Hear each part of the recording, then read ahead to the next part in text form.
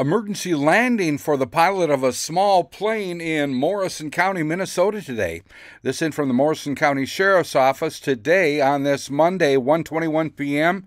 They received a report that a plane went down on Highway 27 near the Eastern Morrison County Sportsman's Club, approximately 4 miles west of Pierz, uh, Minnesota in uh, Agram Township.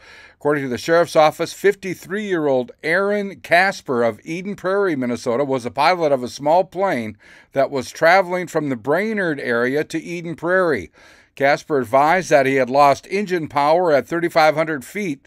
Uh, Casper reported that he had to make an emergency landing on the highway. Once on the roadway, he drove the plane into the ditch to avoid traffic. Casper was not injured. The FAA is investigating.